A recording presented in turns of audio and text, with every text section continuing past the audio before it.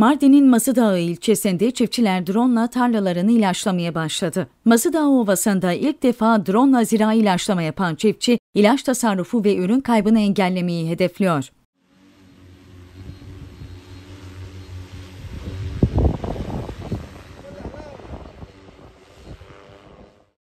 Zaman ilerledikçe teknolojinin de geliştiğini ve gelişen teknolojik aletlerden bir tanesinin de drone olduğunu belirten genç çiftçi Serdar abi, traktörle ilaçlama yaptığımız zaman yaklaşık 60 bin, 70 bin TL'ye yakın verim kaybımız oluyordu ve bugün de drone ile ilaçlamayı yaptığımız için verim kaybımız olmadığı ifadelerinde bulundu.